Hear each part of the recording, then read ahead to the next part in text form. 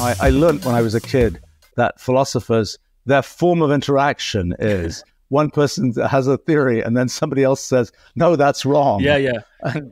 And, uh, and then they all, uh, you know, cheerfully um, go out to, you know, the, the pub or whatever afterwards. And then even though they were vigorously attacking each other, but that would be my, my immediate response. I mean, I've not heard that particular uh, story before, but, but that would be my immediate response no, to that's that. good. I interviewed this uh, very famous number theorist at Columbia, um, Michael Harris, who's very, very interested in philosophy as well. And he said that as far as he can tell, the way philosophers work is that they just try to trash everybody else's um, theories, and that that's how philosophy progresses.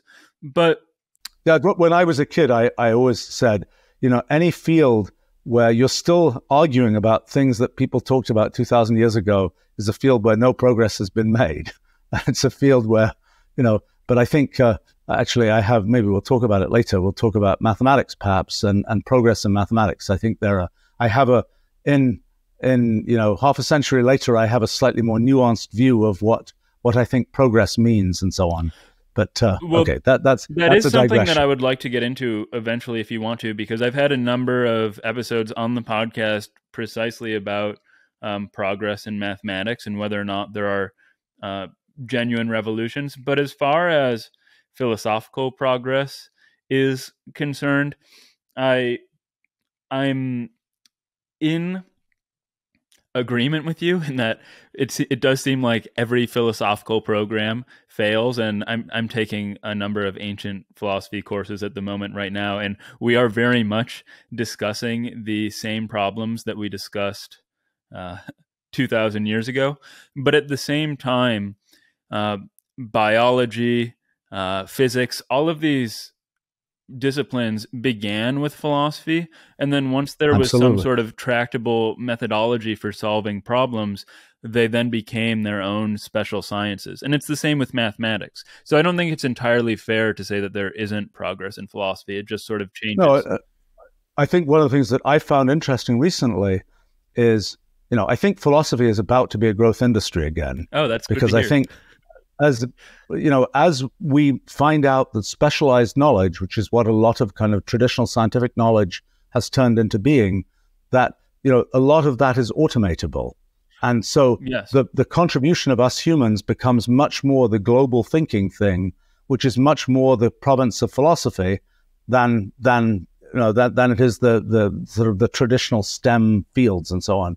I think you know the thing I've realized recently is that kind of computation is kind of a a lifting of the, the, and what we see even with large language models and semantic grammar and all these kinds of things is again a lifting out of the philosophical discourse into something more formal of something which has long lived in the kind of domain of philosophical discourse. So I think that's a you know that in a sense is uh, I agree with you that you know philosophy is this kind of uh, primordial vat uh, from which all kinds of other more formal, you know, more the ability of something like mathematics or, you know, many of the physical sciences and so on to build this tower of sort of formal tower is is something that, you know, philosophy is still arguing back and forth in the kind of primordial vat. And then when you start having a formalism that lets you build kind of a, a real tower is when you kind of emerge out of out of that vat. And I think that's that's you know that's happening in a, in a whole range of areas where we might not have expected it to happen as a result of kind of the computation idea. Computation is the modern vast generalization of kind of what I think happened with logic as a kind of an early example of formalization uh, back in the day. But I, I, think, I mean, in in um, uh, this this whole question, I mean, to me, it's often interesting that you know at the beginning the discussion is a philosophy ethics discussion, something like that in the end, you've got to write a piece of code that does something. Mm-hmm. And so, you know, philosophy to code is a very kind of uh, it's a it's a funny thing because I know in, in my own sort of life and times, you know, I spent a lot of my life building computational language, and a lot of these questions that you know my mother worked on all these questions and philosophical logic about identity and all this kind of thing, and it's like, I, oh, who cares about this? I said, um, mm-hmm. and then I realized that you know when you're dealing with oh, I don't know, you know, you have a lambda expression and it's got bound variables, and what's you know, there's another lambda expression, and you know, it's got other bound variables, and what are they the same? Are they not the same? What does this mean? I'm doing that right and, now, and actually. Throwing, what's that? I'm doing that right now, actually, in computability right. and so, logic.